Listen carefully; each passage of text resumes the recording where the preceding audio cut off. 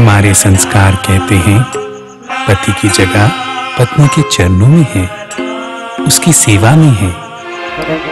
पर आज बीच बाज़ार ऐसे बेआबरू किया जा रहा है मानो घर में भाई बाप ना हो। जानती हैं ये औरतें अबला भारतीय मर्द के आंसुओं की कीमत। जब चाह गले लगा लिया जब चाह पटक दिया मैं कोई खिलौना तो नहीं? कभी बेटा कभी पति कभी पाप आखिर मेरी भी तो इच्छाएँ हैं। बहुत हो गया ओए आप माचो।